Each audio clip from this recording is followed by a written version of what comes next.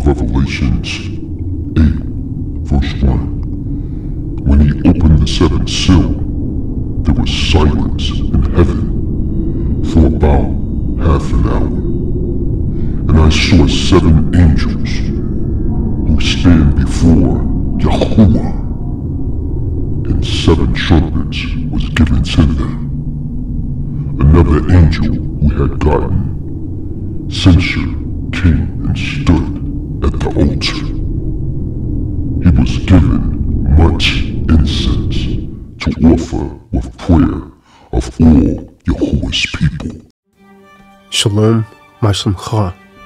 I am Kahan Tazadaq, and I will continue opening the seventh seal. The time has arrived.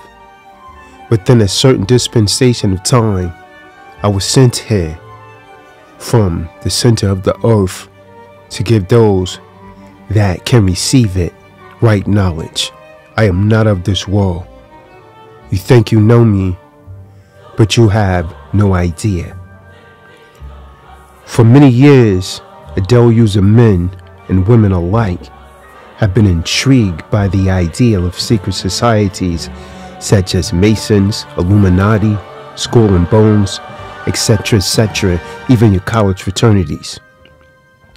You are intrigued to have knowledge of their passwords, identifying their grips and their symbols. You want to reveal, but these are revealed only to those who have been deemed worthy to receive such knowledge.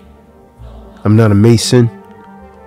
I've never been a part of any of their secret organizations, but I am a seer, a gift given to me by the grand architect of the universe, Yahweh, Yahuwah.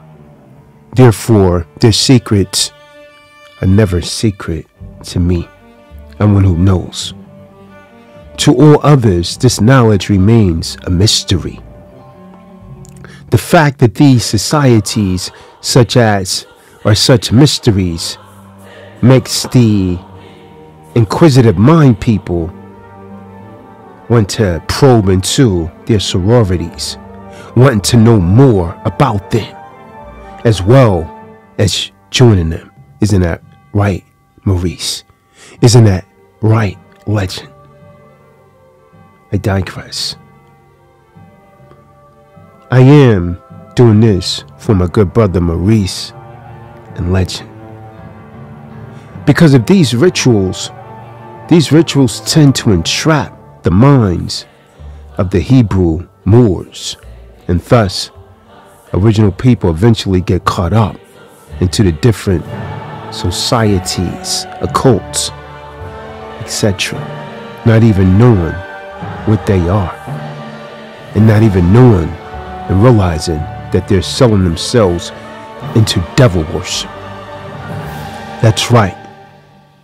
Most of these secret societies are nothing more than discreet devil worshipping occults. These orders, these societies, and clans are extremely selective of whom they grant membership, and a vow of silence is required for its candidates. The year 2024 AD is the disclosure of all mysteries of the cosmos and universal awareness for the chosen seed throughout the world. Also, it's the opening of the seventh seal. And with it, all the meanings of words of the scriptures will be made clear from beginning Aleph to end Tav. I, Kahan Tazadaq, have been endowed with right knowledge as a seer. It's a gift from Yahweh, Yahuwah. A gift only given to Kahan Tazadaq, the reformer. This right knowledge enables me to differentiate between the allegorical and decisive verses of Scripture The sole purpose of this channel is to make the public aware of the many issues that revolve around the false representation of secret societies, orders, clans, and cults. Before this disclosure, never has our people been informed about our past, our present, and about the things to come with such clarity. I am one who was sent. The contents of this video is to show you the different types of organization, societies, etc. that the devil will use to take you, the chosen seed, off the path of righteousness, off the path of Yahuwah. The devil acts Yah for respite until the day of judgment because he wants to prove to Yah that you are unworthy of paradise. The opening of the seventh seal. This time, I'm going to talk about the secret societies. From here, I see Mecca and I see Medina. I travel from east to west and from west to east and back again. 360 degrees, 720 knowledge, right knowledge. Now let's take a brief look at these words because words are magic. And when they cast their words at you, they're really casting spells on you because with their words, they're spelling. Secret. Secret means kept from the public knowledge from the knowledge of a certain person or persons acting in secret. A secret society of something known only to a certain person or persons and purposely kept from knowledge of others. That's a secret. So then what is society, Kahan Tazadaq? Society is a group of persons regarded as forming a single community, forming a distinct social or economic class. What is an order? A group of men constituting a military, Masonic, or social brotherhood is an order. What are clans? An early form of social group, a group of people with interests in common clique. What are cults? A cult is a system of religious worship or ritual, devoted attachment to or extra grant admiration for a, a, a extra grant, extravagant. Listen to the wordplay. Extra grant, extravagant. Admiration for a person, principle, etc. When regarded as a fad, the object of such attachment, a group of followers. And thus is the secret societies. And now, the truth that I reveal within this video right here will leave no room for confusion or doubt. Man can no longer be duped up by countless phony secrets that exist today unless he just wants to be. Because the seventh seal has been opened. The Brotherhood have made prosperous businesses perpetrating lies under the disguise of ancient mysteries revealed. It has taken these people many years and much thought and paperwork to think up a pastime without many obvious loopholes. It would not be prosperous for them, or assuming, nor would it be a, as mystifying or believable to the victim. Have an open mind. I know many of you in these organizations, you're not going to be capable of accepting this. But if I save one, then I've done my job because that's all that's supposed to be saved. It must be pointed out that this is the day and time wherein many false teachings will come about to confuse you. The easier it is to join a group, the brotherhood, and maintain yourself within it, the more false doctrine will be made available. You will be led further away from the truth. But this is right knowledge. Can't you see that this is the devil's plan? This plan was devised way back before the physical creation of Eretz of the earth. Just to reiterate the truth. Satan told the Most High that he will leave everyone off the straight and narrow path. How you guys say it? In the Arabic, Sarata Mustaqim. Sarata Mustaqim, the straight path. Except for the Jobs of the world. Except for the purified ones. See, what the indigenous people, chosen seed, must realize is that if he chooses to be a part of these secret societies, my good brother Maurice, my good brother Legend, then he has stepped right into the devil's web of illusion.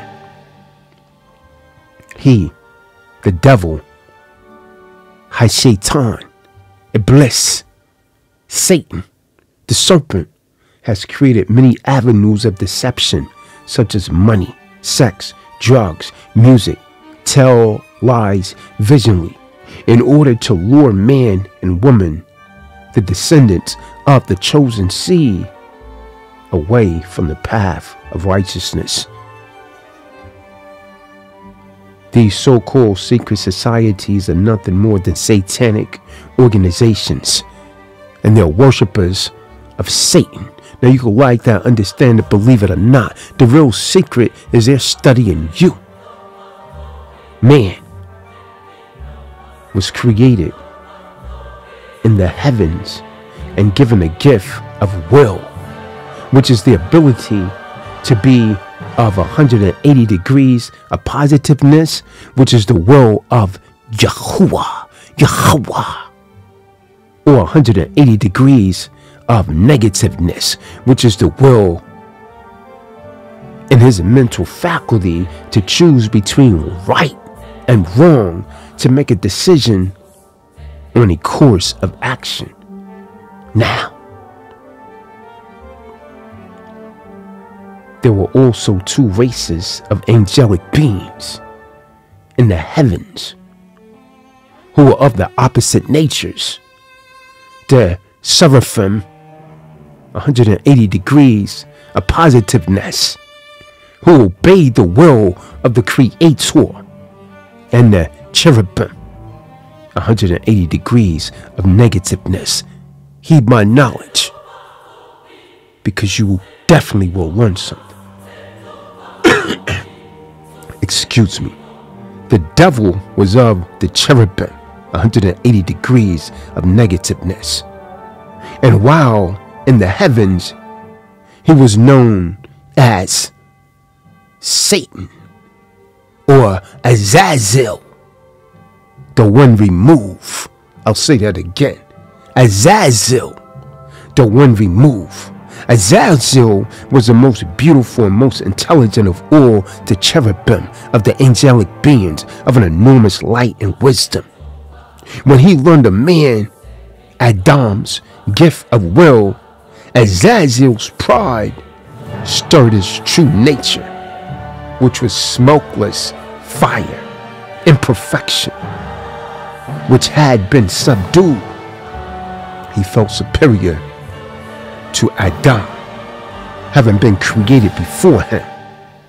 And so, when commanded by Yahuwah, Yahuwah, to prostrate before Adam, Azazel refused and rebelled against the will of the Most High.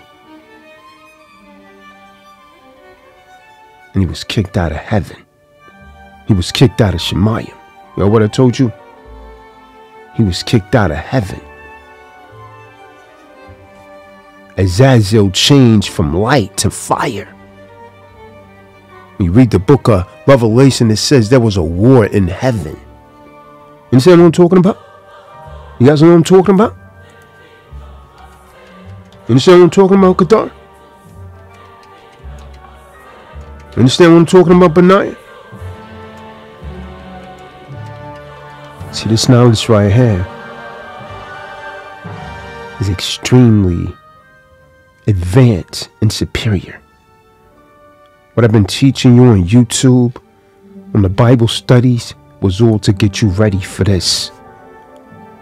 Book of Revelations, Apocalypse 12 and 7 through 9. There was also a war in heaven. Michael, Michael, and his angels fought with the dragon. That's Satan right there. The dragon fought back along with his angels. But he was not strong enough there was no longer a place for them. He's talking about Satan and his angels right there. You see what I'm saying? In heaven, the great dragon, see, he was great, was thrown down. That ancient serpent, the one called the devil and Satan, the one who deceived the whole inhabitants of the earth to go astray. He was thrown down to the earth, and his angels were stoned down with him. So we see right there in the book of Revelations, the apocalypse, that not only was Satan kicked out of heaven, but his angels were kicked out with him. These are the jinn that you see traveling around the earth getting in people, and people need exorcism. See, the mentally incompetent, the spiritually dead, don't believe that these demons exist and they're traveling the earth. Many of you have demons on you. This is why you're doing wicked stuff. You're addicted to porn. You're addicted to orgies and all this unclean stuff. Our women are parading around naked because they're filled with demons. They got jinn in them. Azazel changed from light to fire.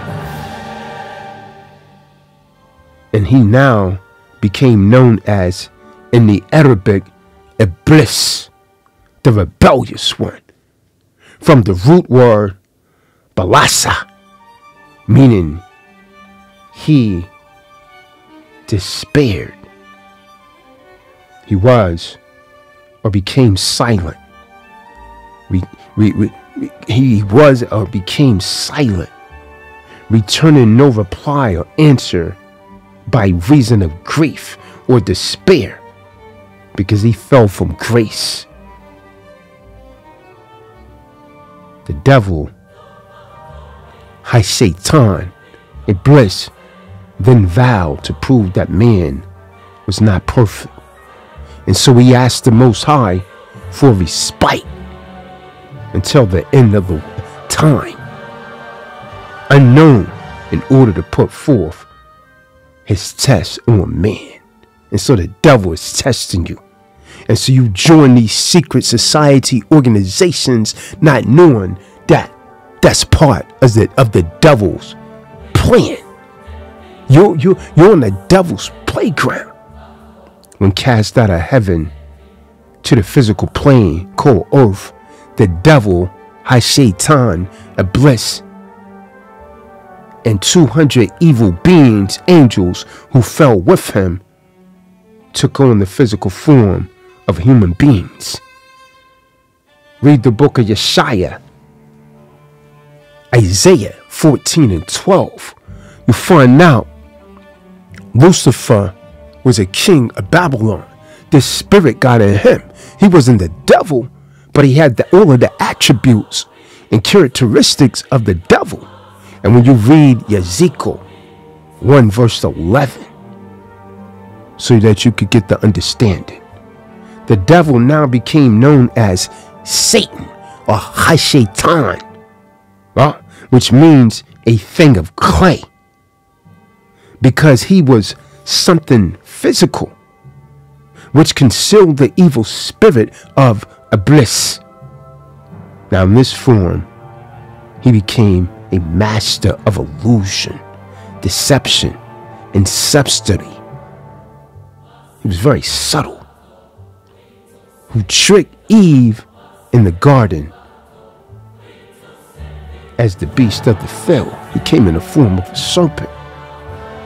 And he calls our parents, our forefather and foremother, Adam and Eve, to be thrown out of Eden, out of the garden in Eden, huh? the garden of delight.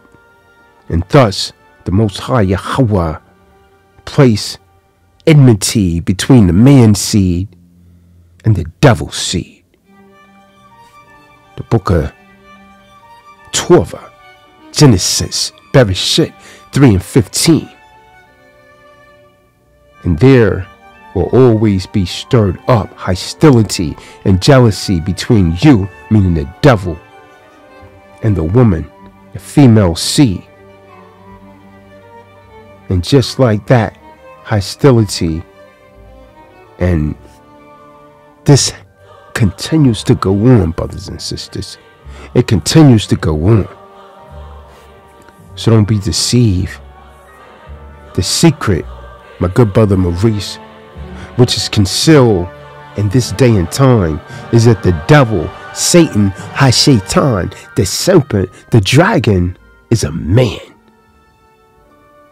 And he knows that many of the chosen seed, the sons and daughters of Adam, will be too deaf, dumb, and blind to see that he's a man. Don't let the devil seduce you.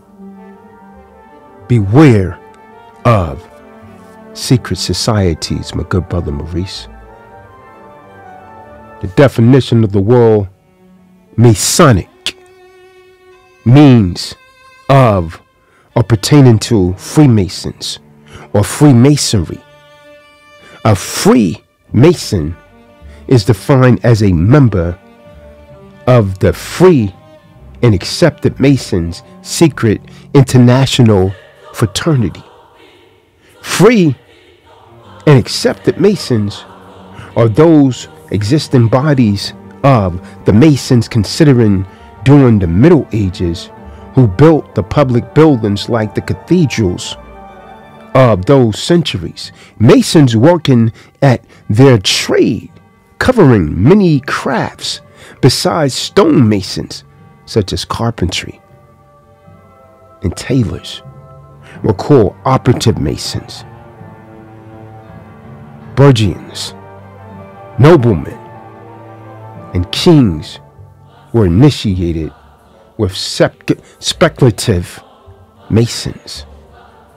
Freemasonry was organized in England. You know what I told you, Maurice? Freemasonry was organized in England. But 80% of the Freemasons in the world today now live in the United States.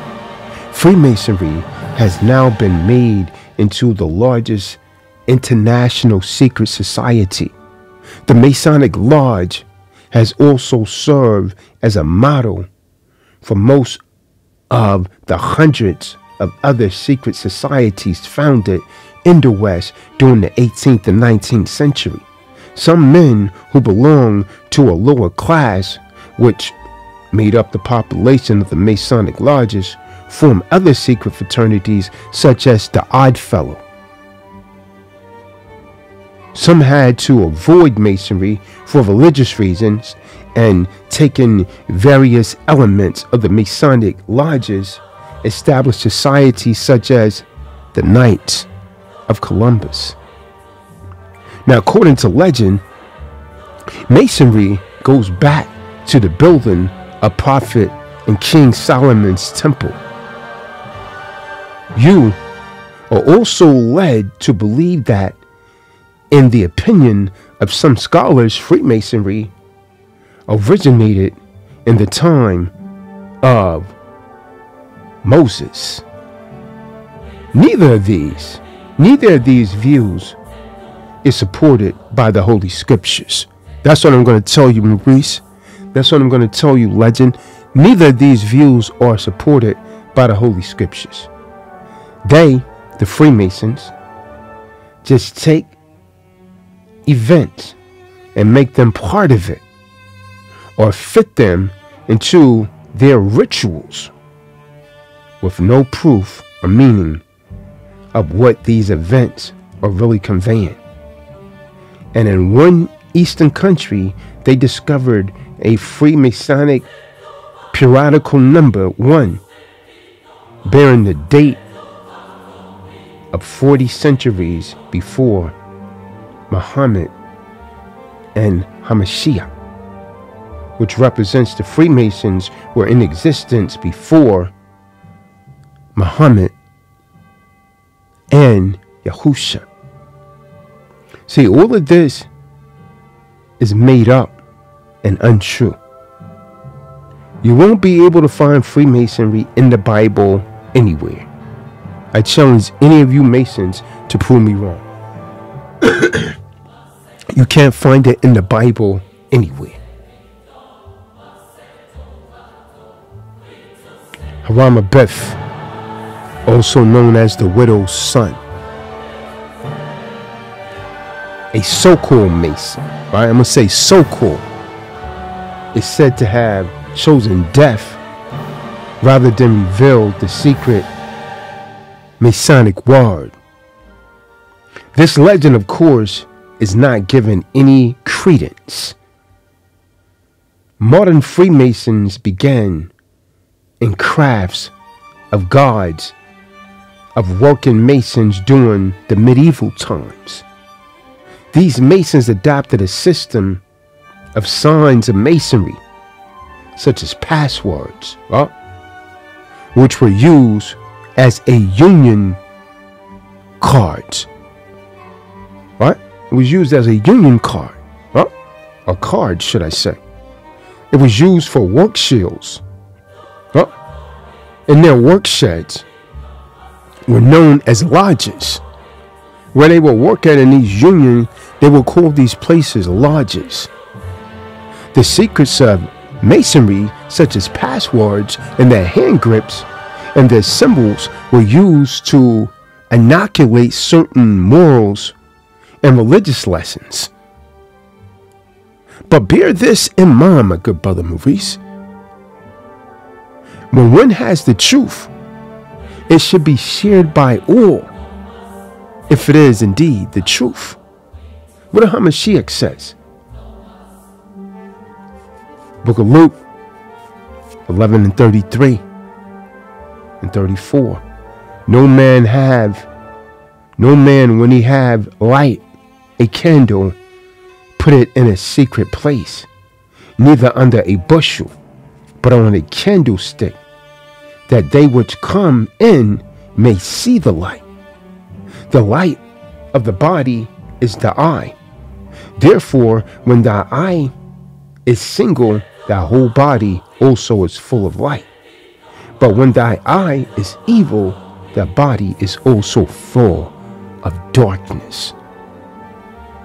See, after the Protestant Reformation membership in the Masonic Lodge fell, some lodges began to admit honorary and non-working members to increase their numbers. So eventually, non-working members outnumbered the working, which of course began to change the character of the lodges.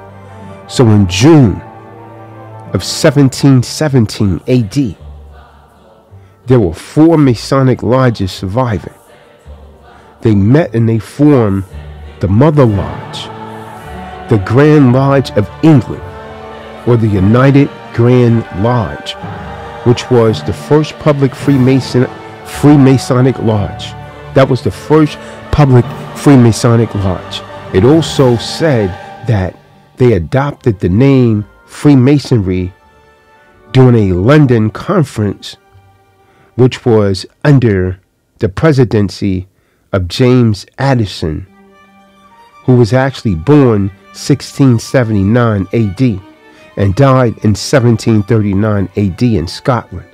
He joined the priesthood and he became an ecclesiastical official in London in 1710 AD. James Anderson was a so called J. I'll say J. He referred to himself as a Jew, said he was of Jewish origin, right? Or should I say a Jewish Christian? In 1723 AD, the Book of Laws was literally published. This is like an excerpt of the Constitution written by James Anderson. A Mason is obliged by his tenants to obey the moral law. And if he rightly understands the art, he will never be a stupid atheist nor an irreligious liberate. It's now, though, more expedient only to oblige them, meaning the Masons, that religion in which all men agree, leaving their particular opinion to themselves. So that is to be a good men and true men, or men of honor and honesty. But whatever denomination or persuasion they may distinguish, the Constitution was revised in 1738 AD, which remains basically to Freemason. No one has the power to change the fundamental properties of Freemasonry, but there were between 15 and 25 change proposals by various Masonic authorities, according to my research. These fundamentals included Three degree, the methods of recognition, belief in the great architect of the universe, and in immortality, the equity of all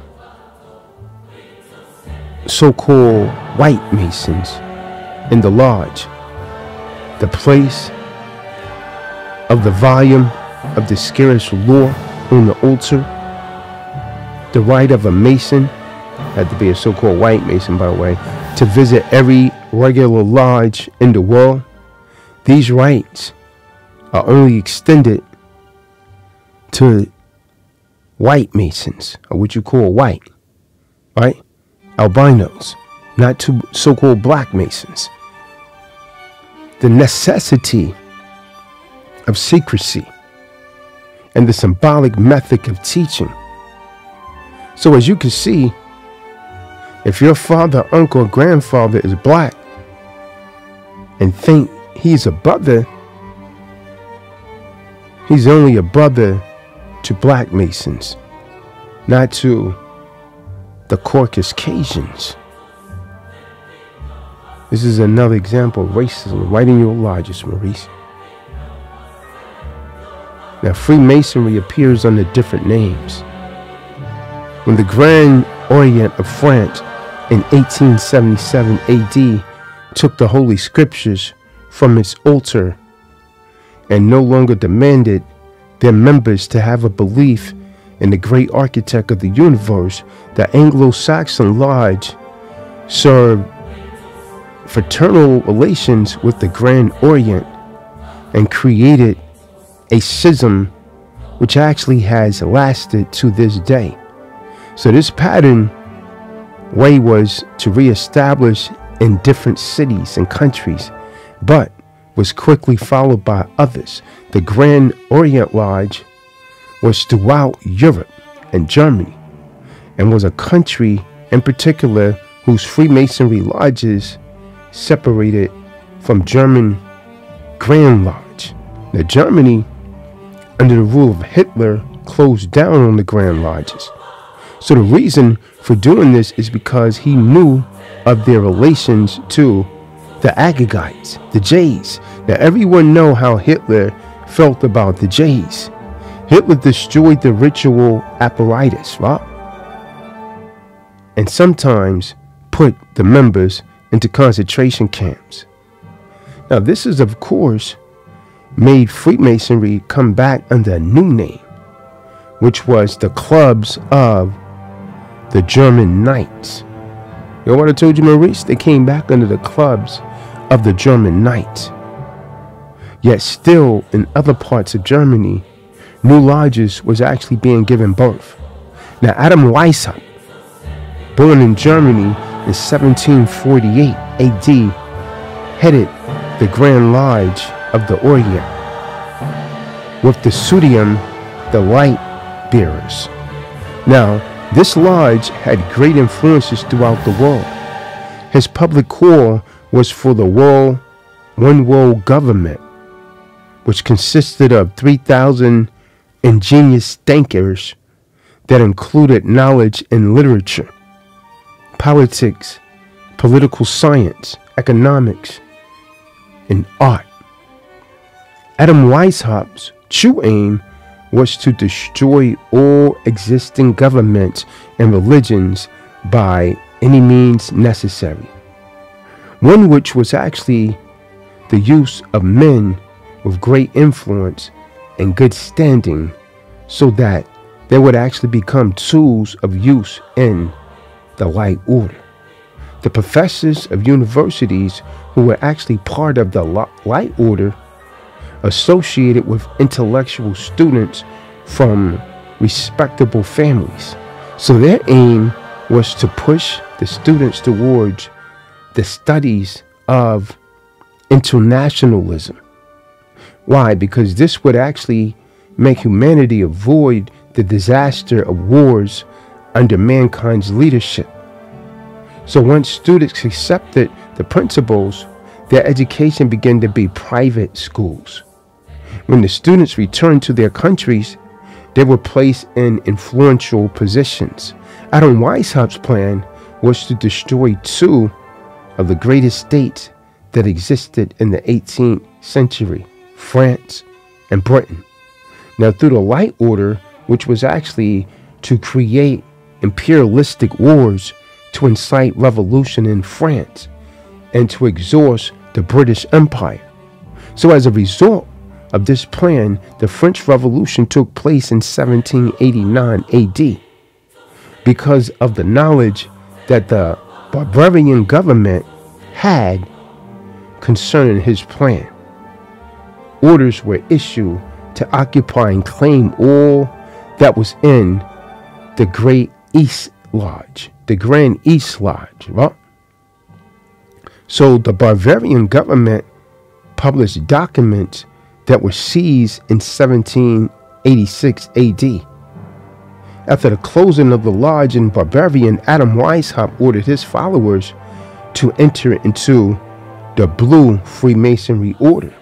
Well, no Freemason could actually be affiliated unless he had acceptance of the principles of internationalism and disavow of God or Yahweh. Adam Weishaupt died in 1830 AD, and he left his followers a practical plan. In 1834 AD, Gibbs um, was chosen chief of the order and remained in that position until his death. An American general, Albert Pike, Albert Pike. Enter Albert Pike. He learned the principles of internationalism from Giuseppe Mazzini in the year 1840 AD. Because of his great intent, his great intense entrance, he became very influential.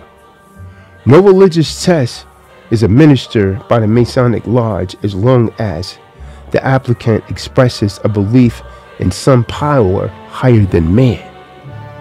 Masonry will initiate a Jew, a Muslim, a Hindu, or a believer in any other religion. If one does not wish to swear on the Bible, then one could choose another volume of sacred law, such as the Quran, the Vedas, um, you name it.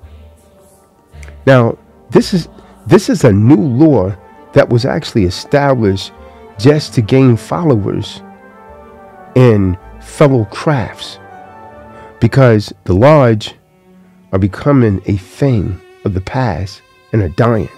So the Grand Lodge of England attracted few members before 1721 AD, but after a while, members of the Royal Societies initiated after which the crafts gained the lodge and almost a prestige. The Irish Masons in 1751 AD attracted a large following when they formed a rival Grand Lodge in England. They became known as the Ancients or the York Masons, right? The two great lodges took some of York's Masons, such as the Royal Oak degree, right? Every Masonry had found a large following amongst English speaking Europeans and the Canadian England. 550,000 Scotland, 400,000 Ireland, 500,000 Canada, 260,000 Australia, and New Zealand, 440,000. When England Masonry spread to the continent, in 1721 AD, the French Masonic Lodge attracted anti clerical as well as the occultists. So in 1922 AD, Soviet Russia banned Freemasonry, and it was no longer exists in the USSR. And Red China or other communist nations, except possibly as an underground movement, Freemasonry has been an elite movement in the European countries. Now, these Masons seldom wear Masonic rings or lapel pins. They do not advertise their meetings. They carefully select those they initiate or invite to become members and expect all Masons to study the principles of Masonries and to show active interest in the lodge activities fun organizations such as the Shrine or Grotto are not tolerated. It takes years for a European Mason to advance from the first to the third, or should I say the 32nd degree. A European Mason spends two years achieving Master Mason degree. Then he waits four years more before the fourth degree of the Scottish Rite. From then on, he goes at the rate of two degrees a year until he reaches the 32nd degree. In contrast, an American Mason can become a Master Mason in a matter of a few weeks, and he could jump from the third degree to the 32nd degree over a single weekend because American Masons has become a mass movement. The Masonic equality has become diluted. Now, in many areas of the Midwest and the South, almost every Edomite, every Agagite was a Protestant belonging to a Masonic lodge. Many were very famous Americans, Edomites, right? Such as George Washington. Many of the presidents were Masons, right?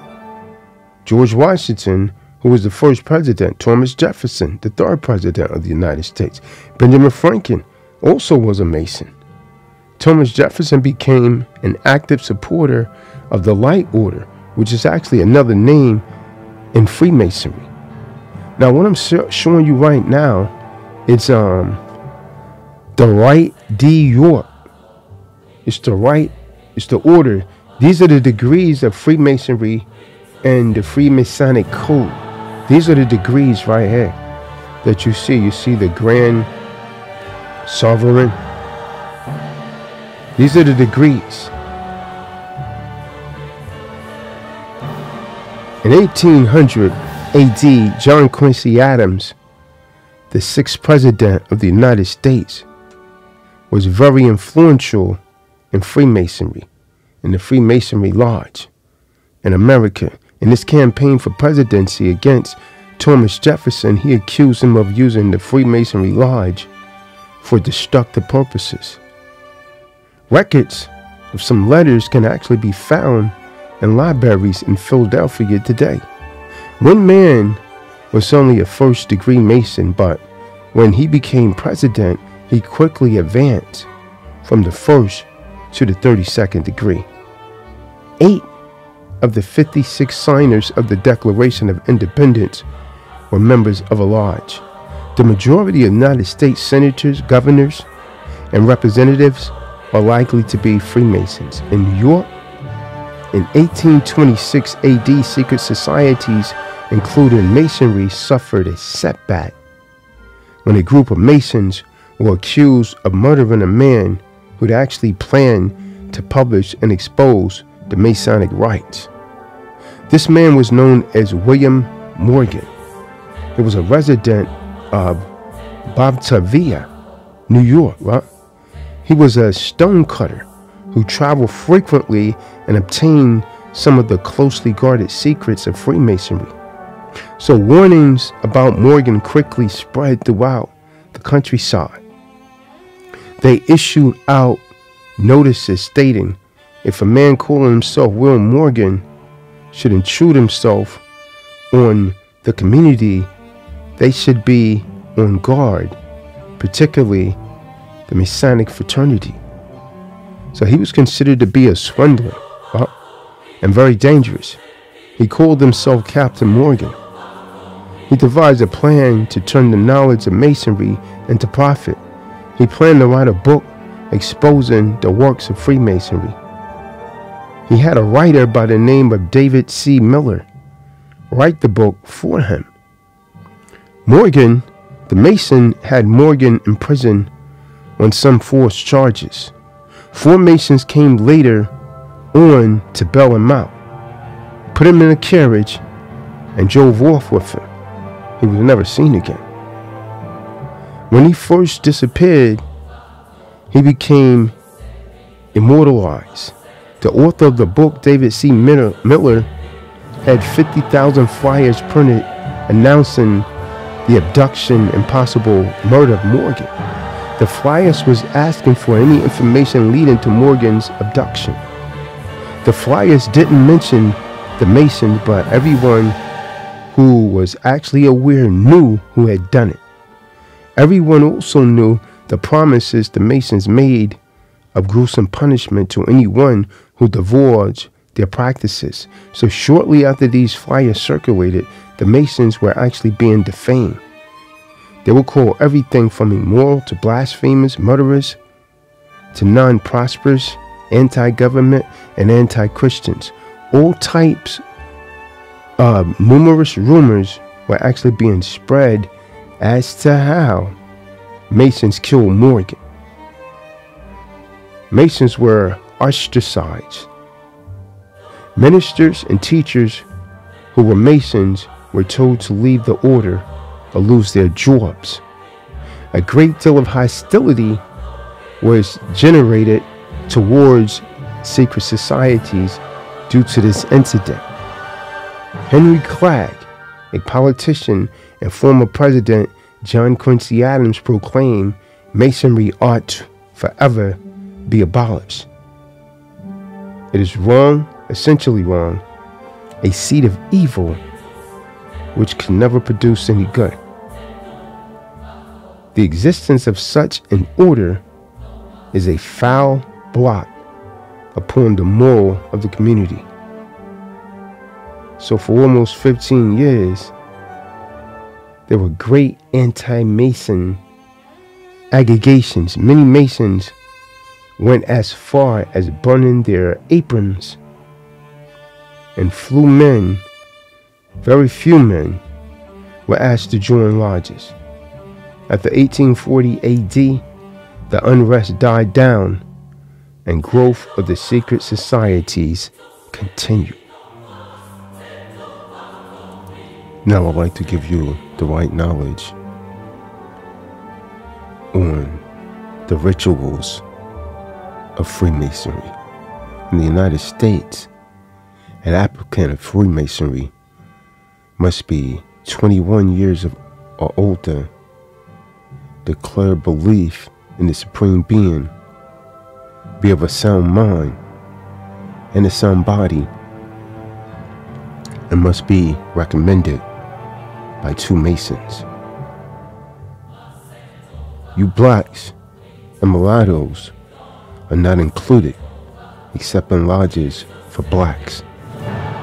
The initiation fee Maine range from $50 to over $50. Well, sometimes 75 I'm sure is higher now. For three degrees of what is known as the Blue Lodge. All of the candidates were investigated by a committee, and a report is actually made at a regular meeting.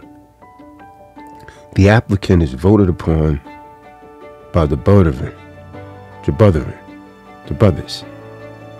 If he's black bull and the vote appears cloudy, a second vote is taken. If the candidate is blackballed again, he's rejected since the vote must be unanimous. What I'm showing you now on the screen, this is the Masonic symbol of the compass and book, right? I need you to notice their symbol is taken from the symbol of the Zionist Jews.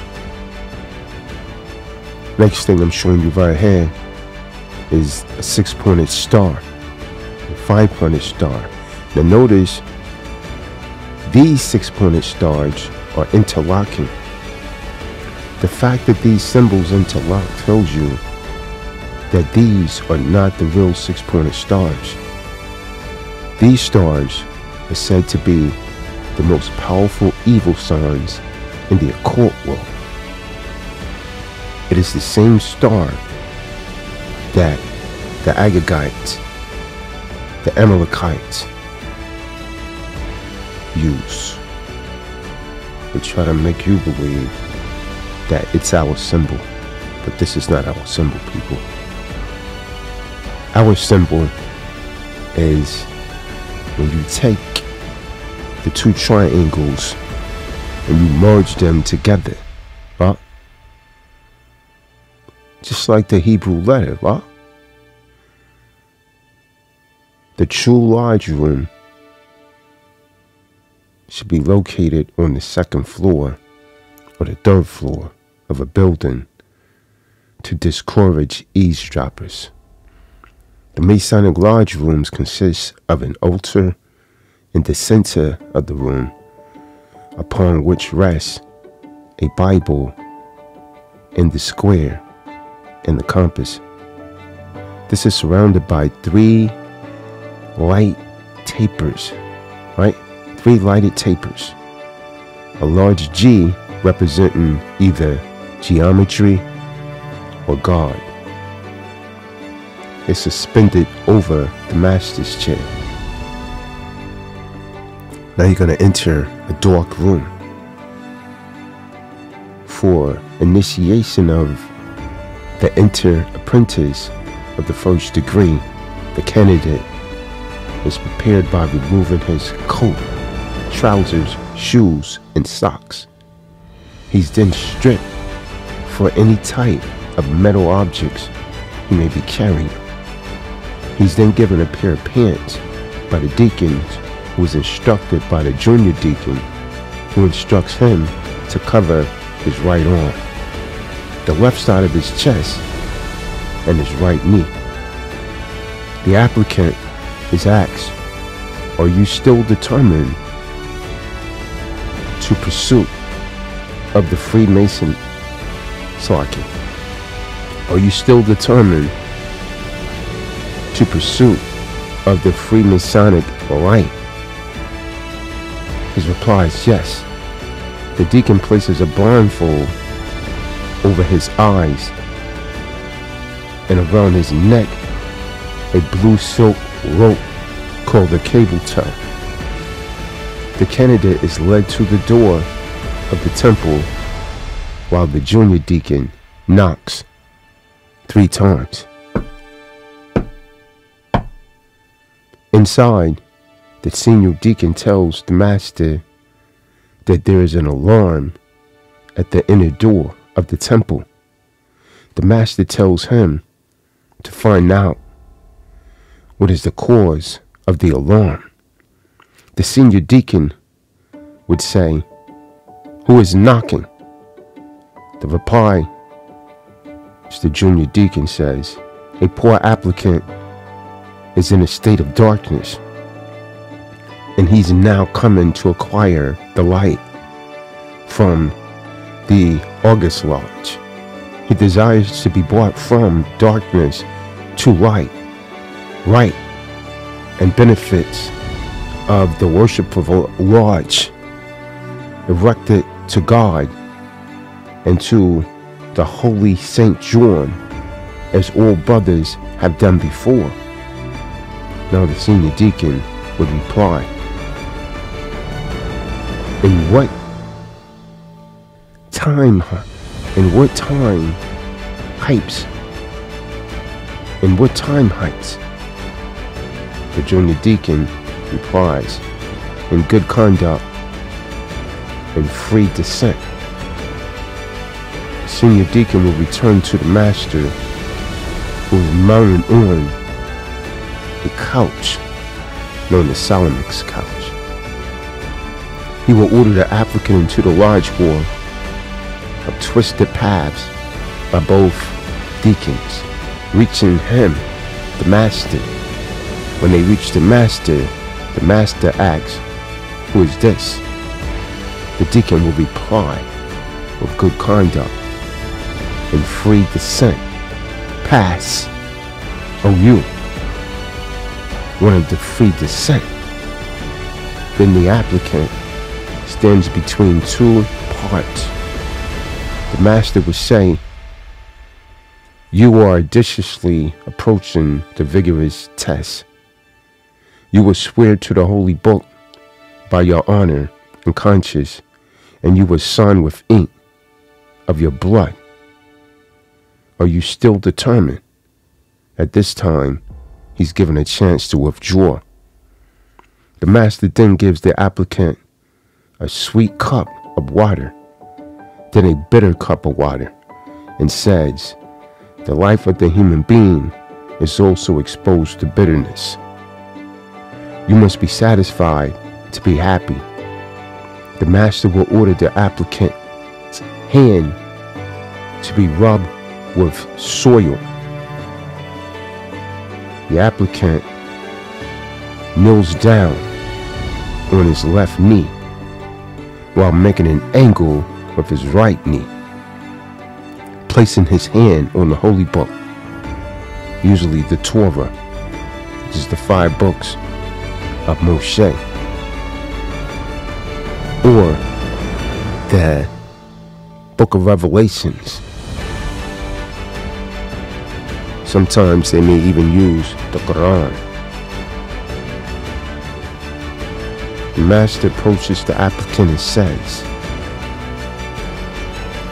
Your stay in darkness has been long. The society with which you are trying to be affiliated with might cost you the last drop of blood. Are you determined to be affiliated? The applicant would reply by saying, Yes. Then it is said to him, What do you wish now? The reply, Light. Master, let light be given to him. So what you see is the knocker, giving you an image of the knocker at the door, and The next image with the skeleton is some of the artifacts found in the dark room. Now, again, Kahan Tazadaq has never been a Mason, don't have a desire to be. The knowledge that I have is much higher. 720. I have a right knowledge. I'm a seer. Therefore, I'm able to see these things. No one has taught me these things, but the grand architect of the universe has enabled me to see these things.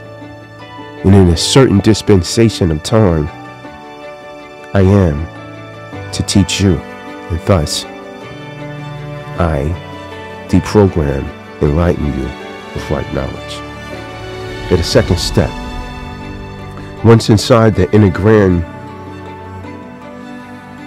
Salakia, once inside the inner guard challenges him with a sword pointed at his breast as a test of courage. So the inner guard points a sword at his chest, as you see in the picture right here. Now, part two of the initiation ceremony. Ceremony, right? The initiate is surrounded by fellow masons holding down swords as he lies on a canvas, usually a canvas bed, right? Perpetrating a hero that died defending his Masonic rights. The Lodge Master sitting at the altar with an open Bible presides over the ritual death and rebirth. The blindfold is removed from his eyes, and he sees swords drawn to his head and his face. The master would say, These swords are for your defense at need, as well as to slay you if you act treacherously towards your pledge, agreements, and oaths. The cord, which is actually the cable tongue, around your neck is to choke you if you take action or manifest a sign that indicates violation of an oath. Seconds ago, you were foreign to your kinfolk, and we had been addressing you. excuse me. You was you was um Salaki. Seconds ago, you were foreign to your kinfolks, and we had been addressing you as O applicant. But now you become a Freemasonic brother. Your right is as all the brothers' rights, and your duties as theirs. The master then gives him a wrapper of the first degree and says, This is the highest badge which you must preserve as you preserve yourself. You are not allowed to put it on unless you cherish peace and brotherhood for all attendants.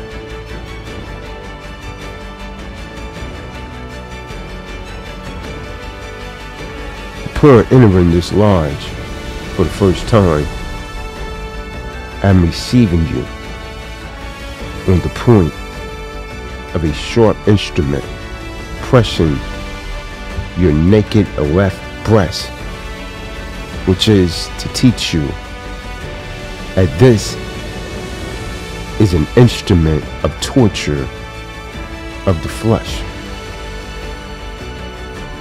So should the reflection of it ever be to your mind and conscience of masonry, unlawful. See, this is known as a ceremony of shock of entrance. So now the candidate kneels while the chaplain offers a prayer. The candidate is asked in whom he puts his trust, and he replies, In God. Then he's led around the room and introduced to the lodge officers while the master reads the book of Psalms 113. The master then gives the candidate some instructions. Freemasonry is a beautiful system of morals veiled in allegory and is symbolically illustrated. Its tenets are brotherly love, truth, and relief. Its cardinal virtues are temperance, fortitude, justice, and prejudice, prudence. Its religion, if it may be called a religion, is unfringed belief in the one living and true God. Not telling them that their God is actually Nimrod. The nature of the soul. So the nature of this solemn obligation is explained and the master tells the candidate to kneel on his left knee with his right with his right hand on the Bible. He's kneeling on his left knee on the Bible, square and compass. Then he repeats the oath of the first degree, ending. To all of this and these do I solemnly and sincerely promise and swear without equivocation, mental reservation, or secret evasion, and we, whatever binding myself under no lies, penalty, than having my throat cut from under ear to ear, my tongue torn out by the roots, and my body buried in the rough sands of the sea, a cable tow length from the shore, where the tide ebbs and flows twice in 24 hours. If I knowingly or willingly violate this, my solemn obligation as an apprentice, so help me God, and enable me to keep steadfast and due performance of the same. Excuse me. the master the master tells the candidate to kiss the Bible, and the senior deacon removes the cable tow. Then the master asks him what he desires most at this time. And the candidate responds light. At this time, the conductor takes the blindfold off, and the candidate sees the brothers of the lodge assemble for the first time. The master now impairs the secret work of this degree, such as the symbolism of the Bible, square and compass, and the upper and the tapers, right? Boaz. Boaz is the name of the grip. The new entered apprentice is presented with a white lambskin apron cord, an emblem of innocence, and badge of a mason. The master asks the new member for some metallic object which may be kept as a relic by the lodge. The candidate, of course, had to deposit all such items before he entered the lodge room. He not being able to comply with the request is supposed to teach the lesson of charity. Now the candidate is permitted to return to preparation room and put on his street clothes. When he returns, he is told about the working tools of the first degree a 24 inch gauge in the common gavel. After the mason announced it, the first degree has been completed. For the second or the fellow craft degree, the candidate is prepared much the same way as he previously was. But this time he exposes his right arm and breast, and the cable tow is actually wound twice around his arm. And the slippery is worn on his left foot, and an oath for this degree is repeated by the candidate. The Master Mason degree is built around the legend of the assassination of Hiram Abiff, also known as the widow's son. The ceremony follows a somewhat different procedure than the other lower degrees. This time, both points of the compass touches his breast. The oath and kissing the Bible are involved, but for this degree, the candidate must become Hiram Abiff and they play it and be resurrected. After the symbolism and actions are explained, the third degree has been completed and the candidate is now a fully fledged Mason. The oath for the first degree. I swear in the presence of the Most High and omnipotent God, creator of the greatest universe, and I pledge to my will and choice to keep and conceal the Freemasonic secrets and symbols which are revealed to me now or later, and not to disclose them to anyone except to the true brother and the just, complete, and organized circle after accuracy examination and study that is deserved, that deserves confidence. And I can take upon myself not to write these secrets, nor print them, nor to carve them, not to engrave them, nor to show the way to them in any manner, and to prevent as much as I can that one who intends to do that, whether by letter or deception or pictures, frankly or not frankly, for myself or for archers other than me so that the secrets of Freemasonry will not be revealed. And I take upon myself to be bound by the laws of the Lodge of the Supreme Being and its rulers, and I promise to obey this, my lodge, lodge number, whatever his lodge is, and I take a frank oath to all of these without concealment, nor equivocation, nor deceit. If I break this, my oath, I will deserve decapitation and the crippling of my tongue. Help me, O oh, my powerful God, and grant me steadfastness, steadiness throughout life to preserve this oath which emulated from me with the degree of apprentice.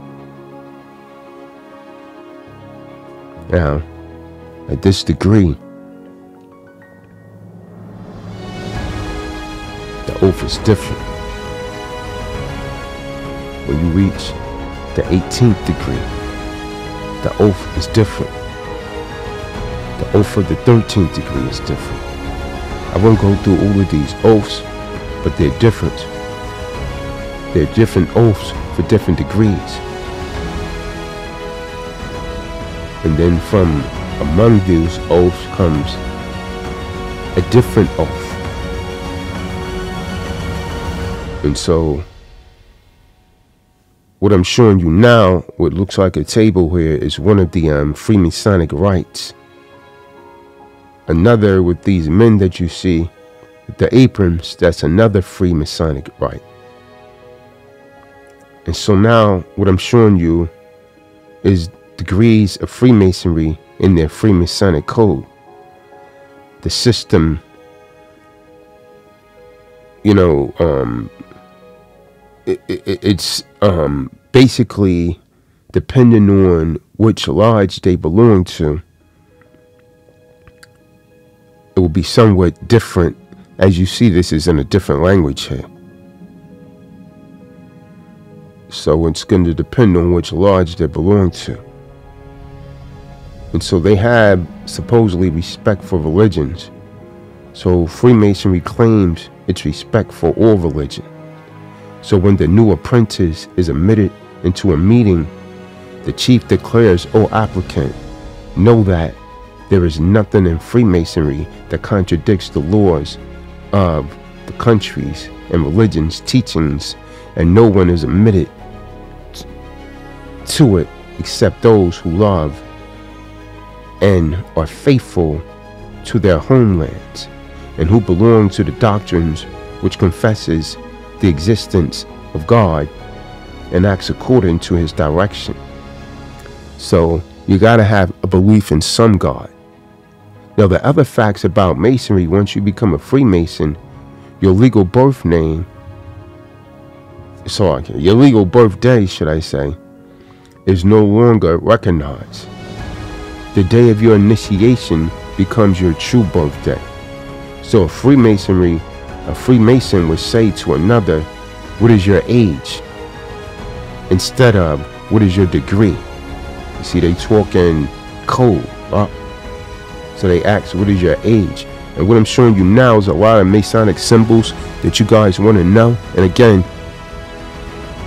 I'm not a member. I've never been in any of their lodges. I'm a seer. This is given to me by the grand architect of the universe.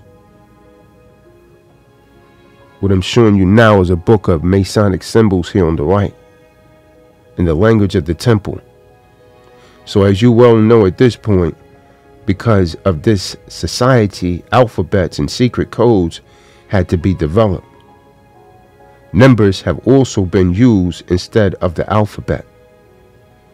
So, the letters represent numbers. For example, A70, B2, and so on and so forth. C, D12, whatever.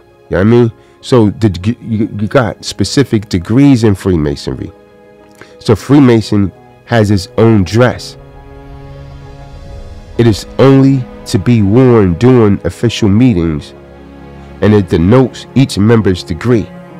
Medals are also worn as chess decorations at their festivals or their festivities, right? Medals are also worn to denote your degree. The principles of Freemasonry, religions, morals, and politics. So the Freemasons express their utmost belief in the sustainer, they, you know, God. So when they say God, they mean the devil. And this is what a lot of early initiates don't know. When they say God, they mean the devil, not the creator, Yahuwah. That's right. I'm getting into the gist that you guys, you young initiates, don't know about. When they say God, they mean the devil. Did you hear what I say?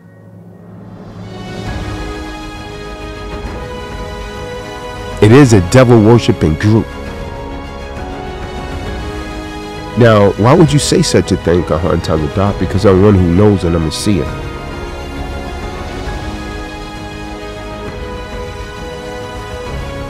It has been enjoined, one of the texts of the general directive is that it has been enjoined upon the brother the love of God, the Holy Church, and his master who accompanies him.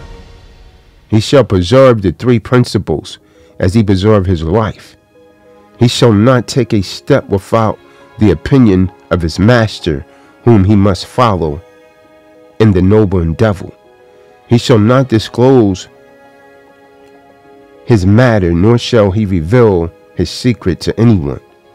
He shall not deviate by a hair's breadth from what the lodge orders under all circumstances, whatever the matter may be and wherever he goes. The Freemasons also has a constitution. One reads, I enjoin on you to honor your law, to sanctify your books, and to regard it as your constitution. And they supposedly have supposedly uh, morals. So Freemasonry bases some of its principles on morals it is said that life on earth cannot proceed without foundation in morality. And so, therefore, its utmost aspiration, its most desired goal, is achieved through ethical standards. Freemasonry is also involved in politics. So Freemasonry states that it is not concerned with the political matters, but respects the ruling of authority. So you find their pledge of respect in the royalty contract.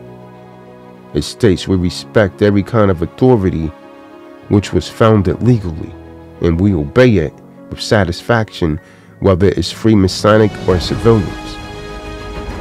They have other so-called values. Freedom, equality, brotherhood, piety, virtue, charity, and the performance of good deeds. And these are concealed, hidden, and disguised. But they have a lot of covert principles. See, Freemasons' belief and affiliation, an affiliation or being affiliated connection is with Satan. And this is what the young adepts don't know.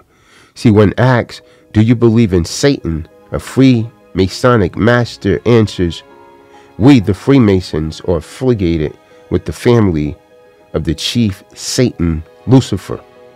Our crusade is the triangle, and our temple is the lodge.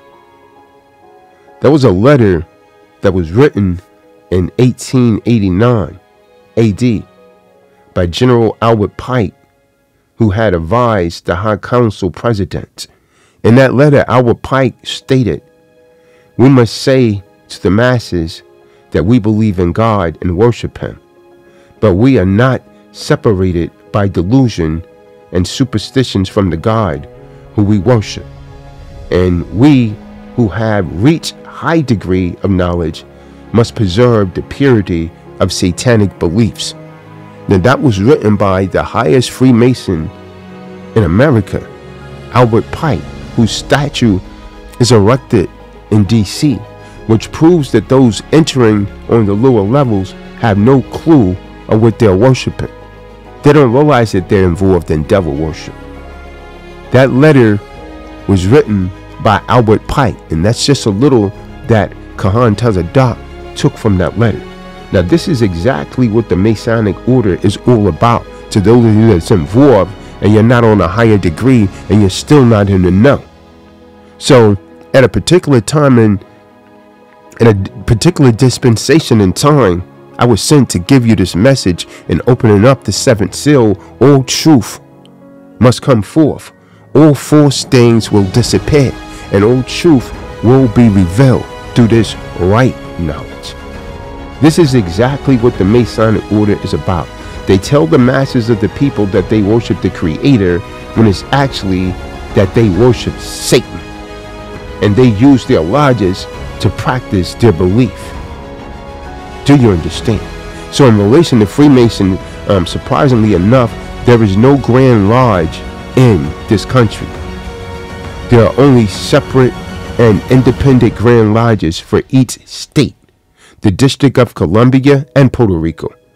The 116,000 blue or symbolic lodges have an enrollment of approximately about 5 million Masons in the United States. While the Prince Hall lodges, right? The Prince Hall lodges, which are the black Masons, claim to have about 312, maybe 400,000. Now, some lodges' activities are coordinated by Masonic Services Association. There's another group of people that call themselves MSA, the Muslim Student Association, but has no power over the Grand Lodges. Now, about 31 of these state Grand Lodges maintain homes for children and the elderly. So the Masonic Lodges does not provide insurance benefits for its member. But the Knights of Columbus and the Foresters are two groups that do.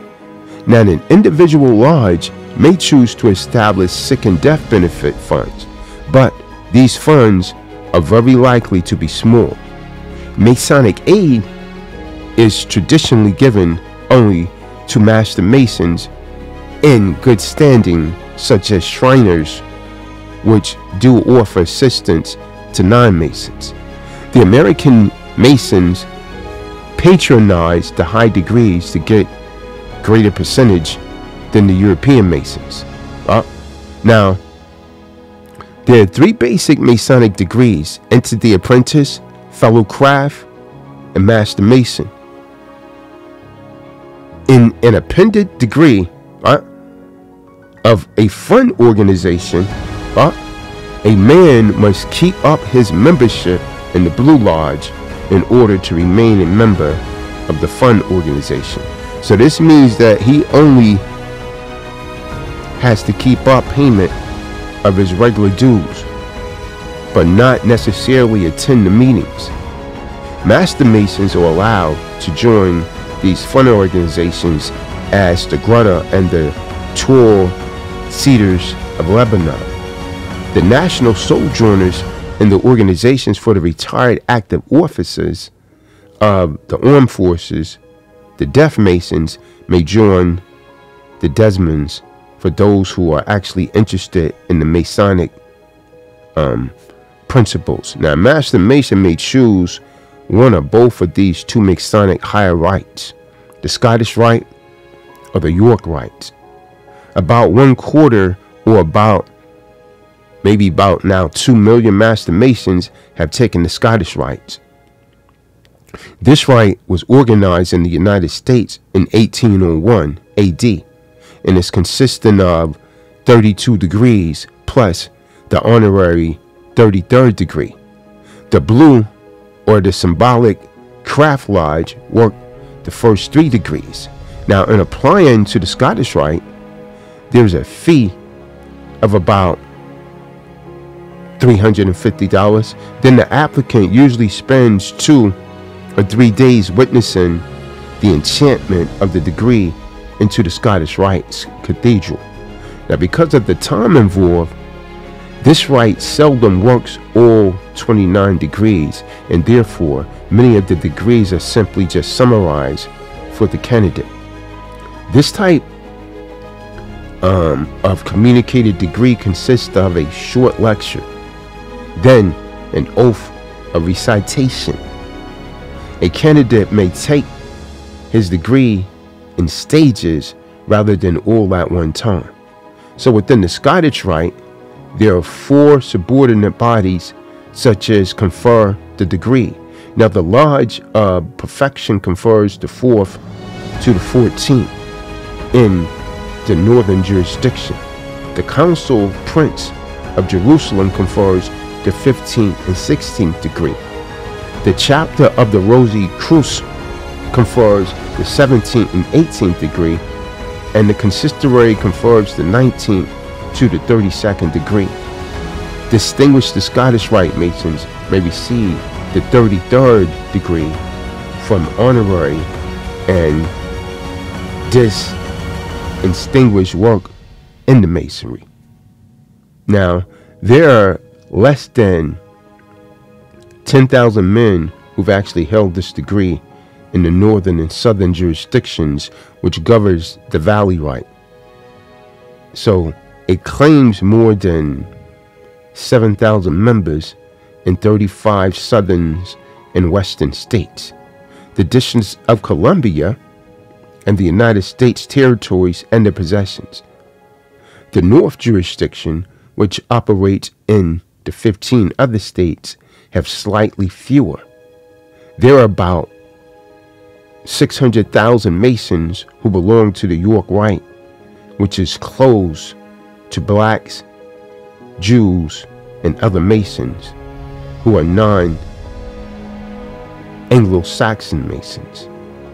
Anglo Saxon Christians, should I say.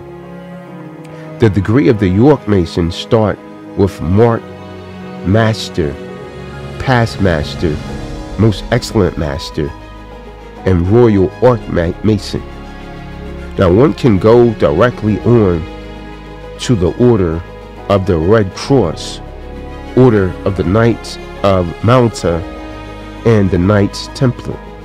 Masons who've actually reached their 32nd or Knights Templar and have been so far for five or more years may join the Royal Art Masons. They also become members of the degree of the Red Cross consonant. Knights Templar and 32nd degree Freemasons may join the playground of Freemasonry, which is an ancient Arabic order and the nobles of the mystic shrine. Now, each state Grand Lodge may determine the precise nature of its initiation rituals because the state Grand Lodge is independent. So rituals and oaths of the lodge may vary from state to state, but the essence of the Masonic ritual remains the same.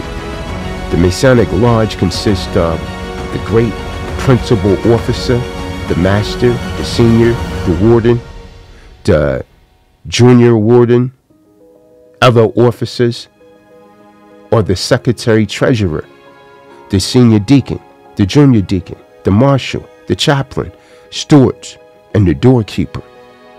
Now, some former presidents of the United States who were Masons as George Washington, James Madison, Andrew Jackson, um, Thomas Jefferson, James Monroe, James Knox Polk, um, James Buchanan, James Garfield, Will McKinley, Theodore Roosevelt, William Howard Taft, Warren D. Harding, Franklin Delano Roosevelt, Harry Truman, Dwight um, D. Eisenhower, Joe Orr Ford, Richard Nixon, Jimmy Carter, Ronald Reagan, George Bush Jr. and Sr. Um, and, I mean, it goes on. Then you got other um, prominent Masons Paul Revere, Patrick Henry, John Jacob Astor, Henry Ford, General Person, John Phillips, Napoleon, Nostradamus, Alexander Hamilton, Lafayette, Mark Twain, Will Rogers, Henry Clay, Benedict Arnold, and so on and so forth. Now, during the war, George Washington had tried to gather around him only those who were trustworthy.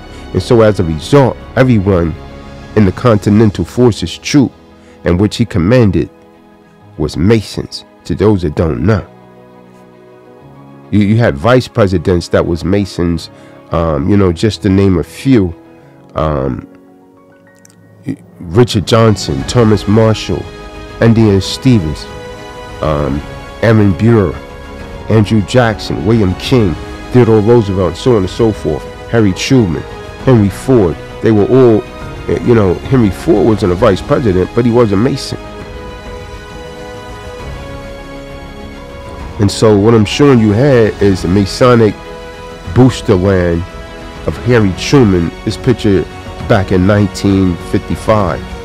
And he's among the brothers, the dwindling spirit. Now let's talk about some more of these secret societies, right? You got the Ku Klux Klan. To you, you that don't know, the Ku Klux Klan is a secret order and so the most notorious of all races um, secret organization is the Ku Klux Klan. And none has equal its strength and power of the 1920s. During its peak, nearly 5,000 American um, Edomites belonged to this invisible empire. The Klan controlled five legislators and elected the governors of Indiana, Maine, Colorado between 1921 AD and 1925. The Klan influence was felt from the courtroom to the state house to the floor of the Democratic National Convention. Yet you still got melanated people, you still have Moors, you still have Hebrews that want to be Democrats because you don't know who you are. But I came to unveil this seventh seal and to tell you to stop being a damn Democrat. They were responsible for your slavery and they were headed by the Klan. And still are. Don't be confused by the face and the place. In claiming to protect the values of white Protestant Americans, the Ku Klux Klan eventually began to terrorize and intimidate and slander and murder. The Ku Klux Klan of the 1920s was the second of three Klan movements. Neither the first nor the third of the Klan movements had more than the fraction of the enlistments of the second Klan. So while each of these three Klan movements shared the same rituals and traditions, they were historically different. The His story, his story of the Ku Klux Klan found its starting point in Pulaski, Tennessee. Six former Confederate veterans missing the thrills and fury of the war decided to start a night riding group as a means of fun. But soon their fun turned into pranks, then to murder, hanging, and brutalizing, brutal beatings of their former black slaves. With the aid of other hooded Klansmen who found this particular kind of fun to their liking. The Klan soon became one of the most prominent strains of bigotry ever known to America. General Nathan Bedford Forrest became Grand Wizard in 1869 AD. Albert Pike, who was also a Mason, who was also the highest ranking Mason in the United States, who also still have his statue erected in Washington, D.C., was among the early leaders of the Klan that was elected as a means of changing the foul air that surrounded the Klan. But to no avail, he was also a part of the Freemasonic order during the 1800s AD and was very influential. In fact, Albert Pike wrote the book Morals and Dogma. So by 1873 AD, there was no trace of Klan activity. The first Klan existed for less than a decade and had enlisted 100,000 members. So this served as a model for the far more notorious Second Klan. The Second Klan's top officer were all Masons who were not only opposed to blacks, Jews, and Orientals, but also to Catholics. So by 1923 AD, the Ku Klux Klan members numbered 2,500,000. Their largest features an altered with the American flag and a sword, and the King James Version of the Bible open to the 12th chapter of Romans. So what I'm showing you on the screen right now are pictures of the Ku Klux Klan. The Ku Klux Klan attired in an array of different um, colors in the addition to their traditional white. He's showing you the Ku Klux Klan members, even a little child being initiated in and then burning a cross. See, this is a Klan oath. In the presence of God, they say, and man, I do solemnly pledge, promise, and swear unconditionally that I will faithfully obey the Constitution and the laws and the will conform to the regulations and the requirements of the Ku Klux Klan, which now exists or which may be hereafter intacted and will render at all times loyal respect, stead support of the imperial authority of the same, and will heartily heed to all official mandates, decrees, edicts, rulings, and instructions of the imperial wizard thereof. I will yield promptly and respond to all summons. I must solemnly swear that I will forever keep the scarce and secret signs, words, grips, and any all matters and knowledge of the Ku Klux Klan in which I may at any time be committed, communicated by me, and will never reveal to any person in the world. I will die rather than reveal the source. So help me God. Amen. That's a ritual of the Ku Klux Klan. And as you see here again, burning a cross. So, as we just heard, the reason why blacks are not allowed to join the Masonic organization is because Masonry and racism goes hand in hand. Most, this is where you guys had to come out with the Prince Hall Masons. Most, if not all, Ku Klux Klan members, uh, Ku Klux Klan members were Masons. This is why you were not allowed to infiltrate the White Lodges until more recently.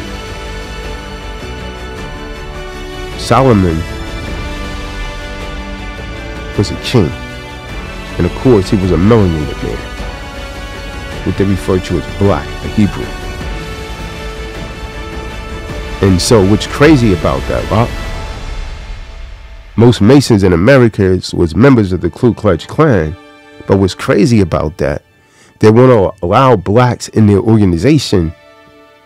But um, Masons take their beginnings back to the building of a black man's temple, Solomon's temple, the temple of Solomon, right? Solomon was the son of King David, David, right? And Bathsheba. He was the direct descendant of Judah, who was the fourth son of Jacob. King Solomon wrote the Songs of Solomon, Proverbs, and Ecclesiastes.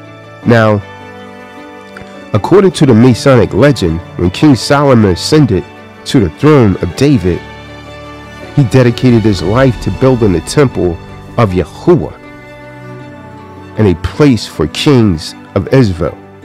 Solomon contracted with King Hiram of Tyre from an army of masons and carpenters to help the Yahudim to build the temple. So I'm going to say that again. King Solomon,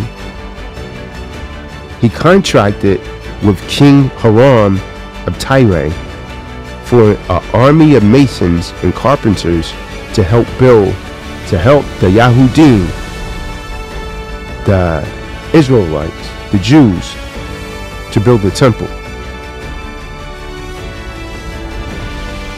Now, what's crazy is these Albanui Freemasons will never uphold the principles of Masonry in relations to the original man.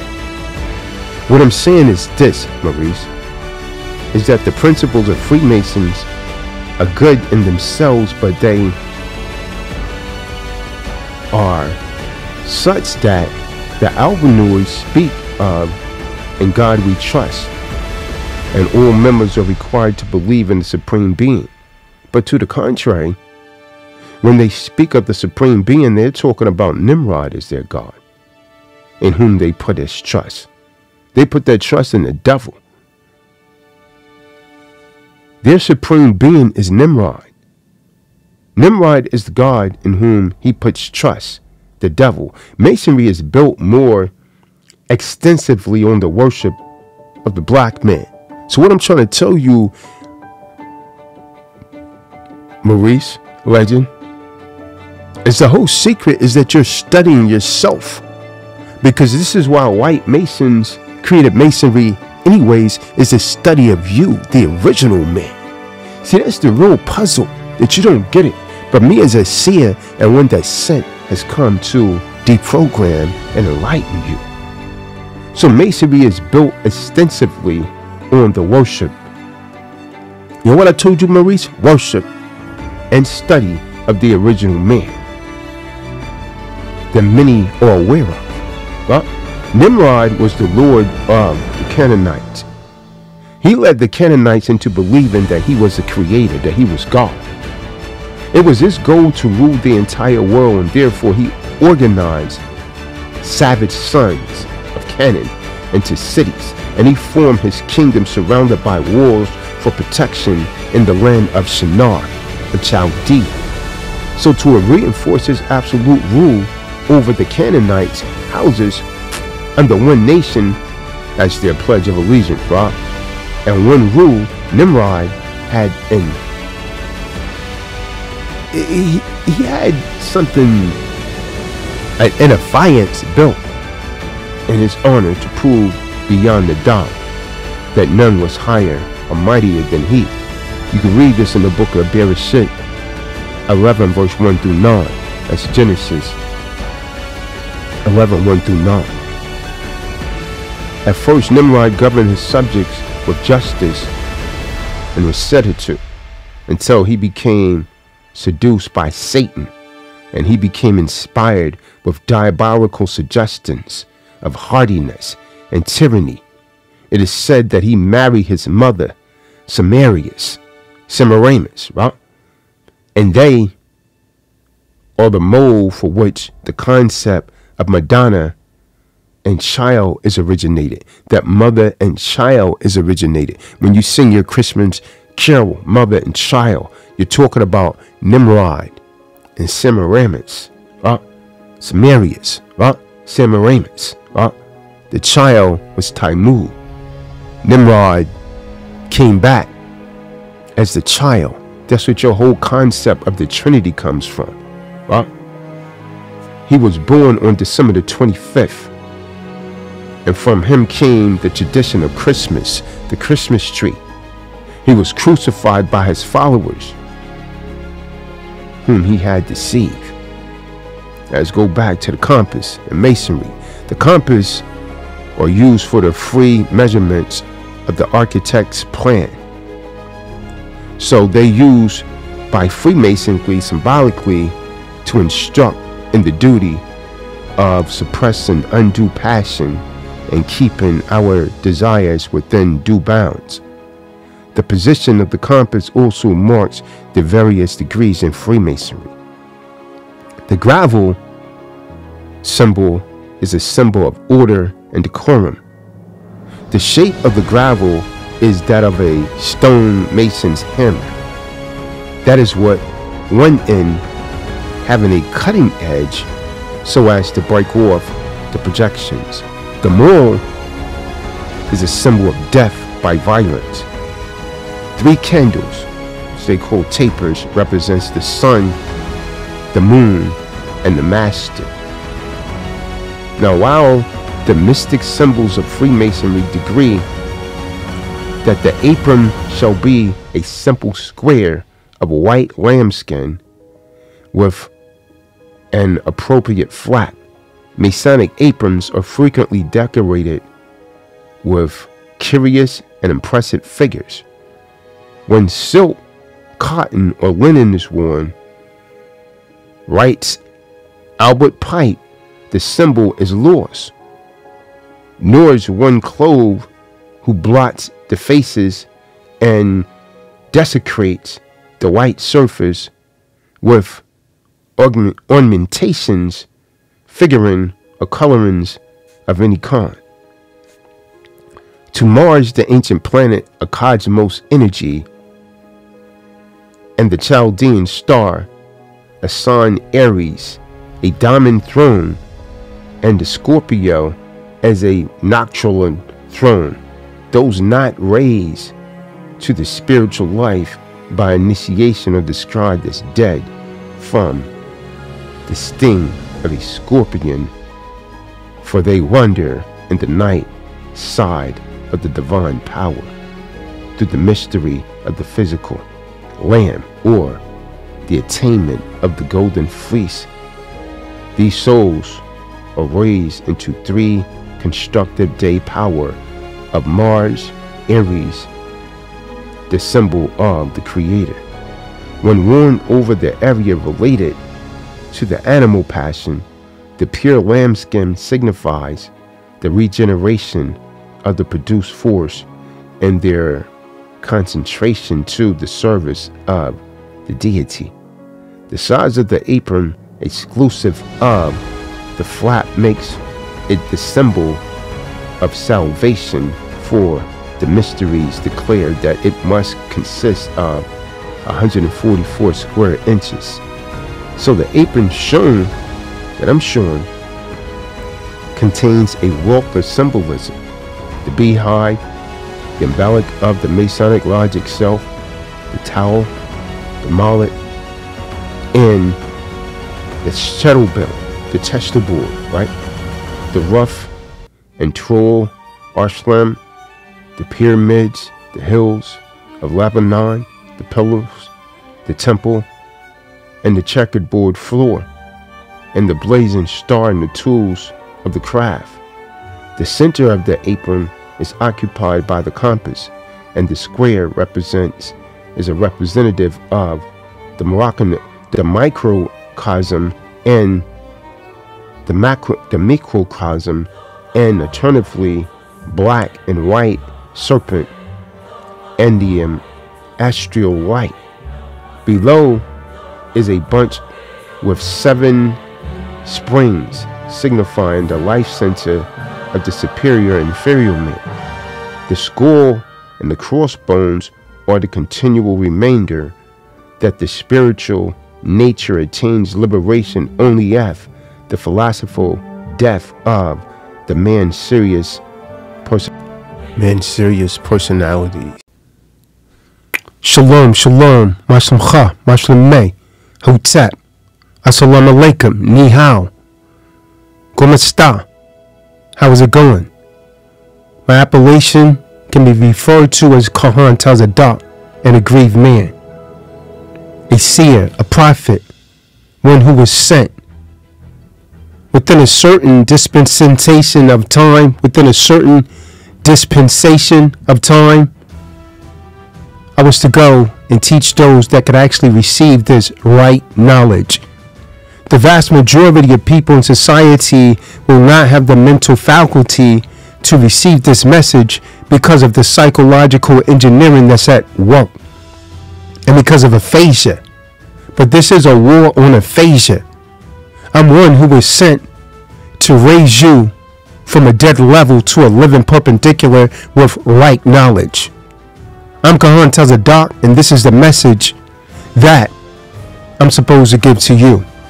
To those that can receive it, receive the message. That's how we want it. It is my prayer that you receive this message. All of you under the sounds of my voice must admit that there is something indeed wrong. And many, since that changes in this nation's lifestyle, are occurring rapidly daily, daily, you definitely know something's wrong. You can't exactly put your hand on exactly what. And because you're so doing it, you want to express it. The media, social media, the papers are saturated with reports, articles, and activities of those advocating increased governmental suspending for a variety of unconstitutional purposes. You have organizations that support globalism concepts.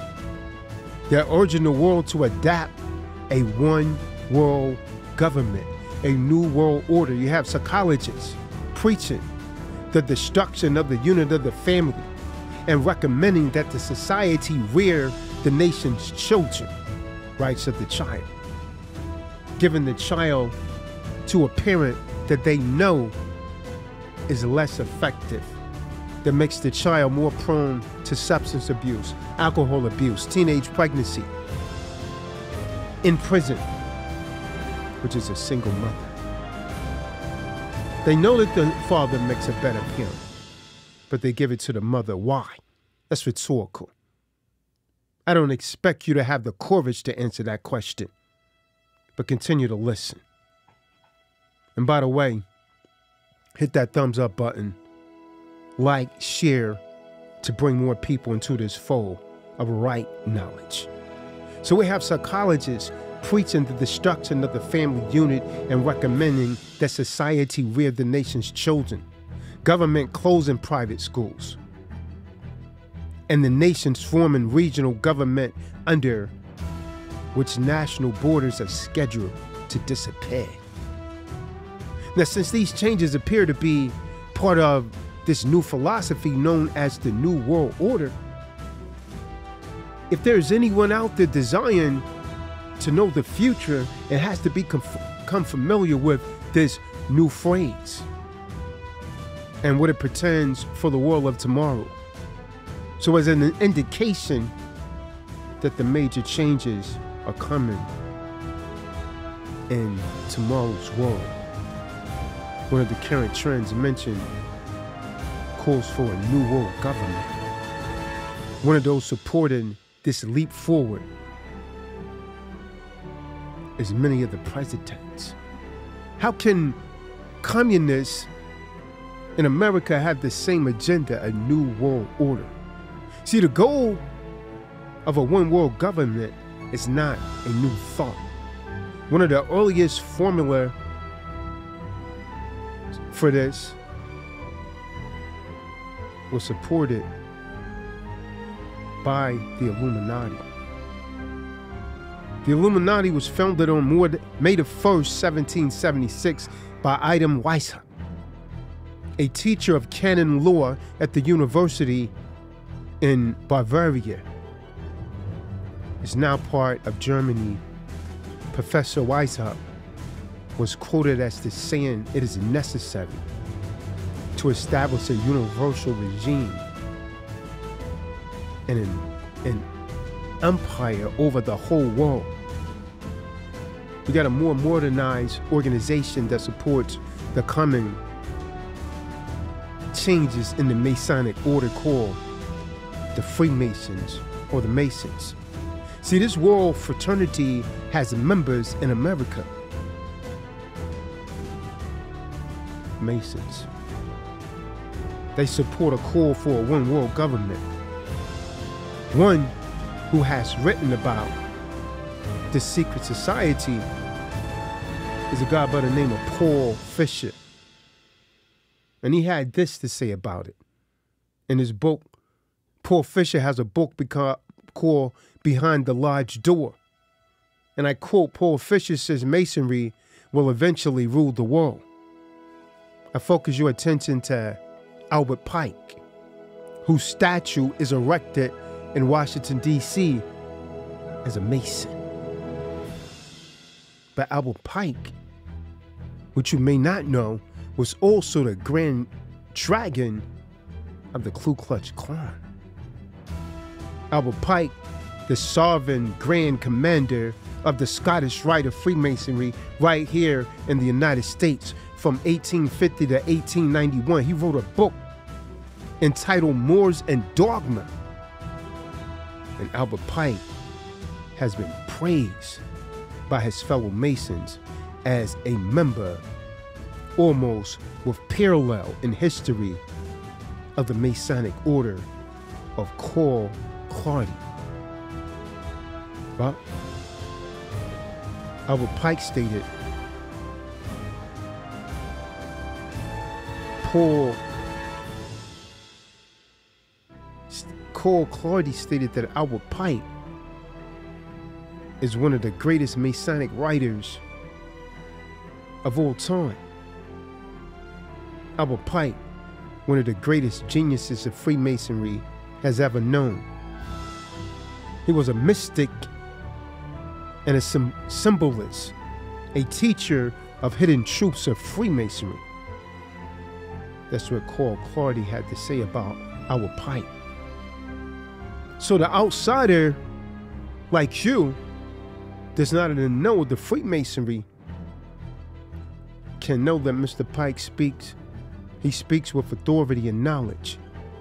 He's perhaps the greatest Mason of all time. His book is given such praise by many Masons. And his book is literally given to each Scottish Rite Southerner jurisdictional Freemasonry who was asked to read it. Now, there seems to be a difference in opinion as to whether or not this book is still required reading for each Scottish Rite Mason. See, the writer was told that it was actually given to each Scottish Rite Mason and took some. Other Masons say that it's not true. In that book, Albert Pike informs new Masons about the moral teachings of the Masonic Lodge. He instructs the Masonic reader that the order will eventually be asked to rule the entire globe. So Albert Pike writes, quote, The world will soon come to us for its sovereigns, apparently referring to governmental leaders, right? and apparently meaning religious leaders, right? We shall constitute the equilibrium of the universe and be rulers over the mysteries of the world, so said Albert Pike. He wrote this supportive statement in a book entitled Legenda. Quote, and thus the warfare against the powers of evil that crushed the order of the temple goes steadily on, and freedom marches ever onward towards the conquest of the world. So, the order of the temple Mr. Pike was writing about was the Knights Templar, which was, according to him, devoted to the cause of opposition to Tiara, meaning that Pope's triple crown and the crown of the kings. So Mr. Pike said that the Catholic Church was a power of evil because it had crushed the Templars.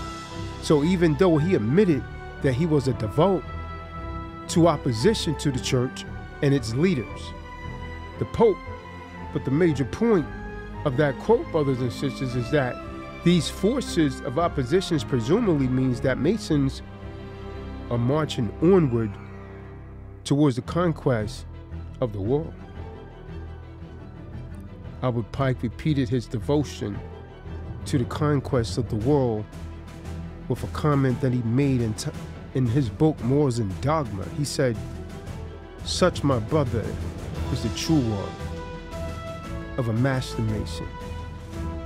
Such the true royal secret which makes possible and shall at length make real the holy empire of the true Masonic Brotherhood. But the major worldwide movement that champions the one world government under religious leader is a new phenomenon occurring worldwide called the New Age movement. Texe Marrs, a researcher into this New Age movement religion, has literally written two books on the subject. Both of these books are excellent. Well, the two books are entitled Dark Secrets of the New Age and Mystery Mark of the New Age. He wrote on one of them The New Age movement has undeniably taken on the definite form of a religion complete with an agreed upon body of doctrine, printed scripture, and a pattern of worship and rituals, a functioning group of ministers and lay leaders. Another writer has written two books on the New Age of religion. Constance Cumbey. Her two books are called The Hidden Dangers of the Rainbow and The Planned Deception. She said in one of her books, The New Age movement is a religious complete with its own Bibles, prayers, and mantras Vatican, City Jerusalem equivalents, priests, and gurus, born again experiences. They're calling it rebirth, right? Spiritual laws and commandments, psychics and prophets, and nearly every other indica of religion. This is interesting, folks. See, the, the, the Masons conceal a great mystery. Mason conceal a great mystery inside its temples, one that is connected somehow to the New Age religion, the New Age movement. The Masons admitted in some of their writings that they too are anticipating a New Age, a series of major changes. Henry Clausen, the past sovereign grand commander, that's the equivalent of a president, of the Scottish Rite Freemason has been quoted in saying, We look towards transforming into a new age, using, however, the insight and wisdom of the ancient mystics. See, the Masons claim that the things that they believe in are as old as ancient civilization. They also claim that these mystics, these ancient philosophers, had the wisdom of the ages and that somehow this knowledge has become lost through the centuries. Humanity today does not possess this knowledge, but it has become the task the Masons and others, truth seekers, to rediscover the principles for the benefit of mankind, is what Masons say. Those possessing this knowledge will correct the world's current problems some of the Masons also claim to have identified the cause of these problems. One of the most prolific writers on the subject of this lost truth is a man by the name of Manly P. Hall, 33rd degree Mason. And for those of you that's unfamiliar with the degrees in Masonry, all Masons in America start through what is called a Blue Lodge, consisting of three degrees. The initiate into the lodge goes through three separate and different initiations ceremonies, one for each degree. After completing those ceremonies, he may stay where he is or choose to affiliate himself with either the York Rite or the Scottish Rite. See, the latter is divided into two separate jurisdictions, the southern and the northern.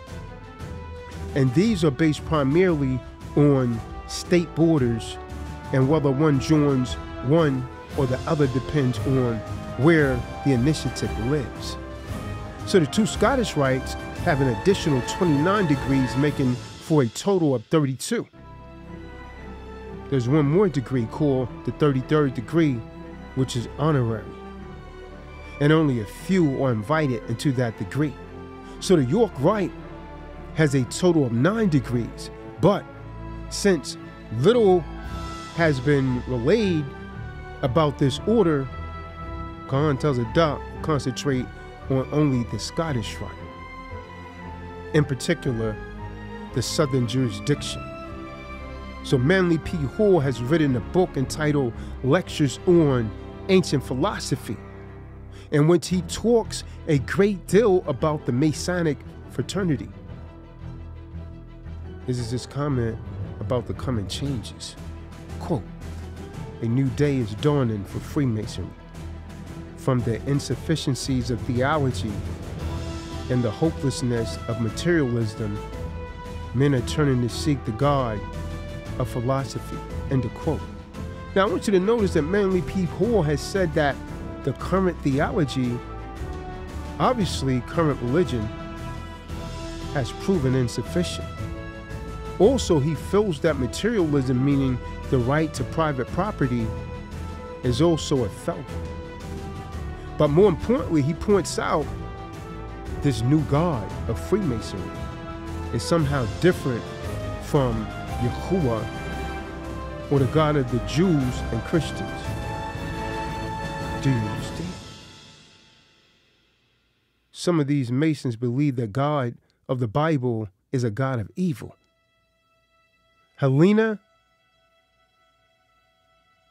Petrovna Valansky Blavatsky She's the founder of the current New Age movement. And she's determined that the Masons are somewhat supportive of her religious views. And she wrote that in her book called Secret Doctrine.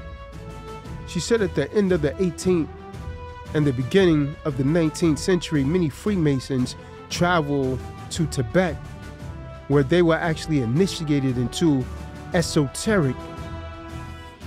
But by only a chosen few as an inner group of disciples or initiates, orders of the Masons of wisdom.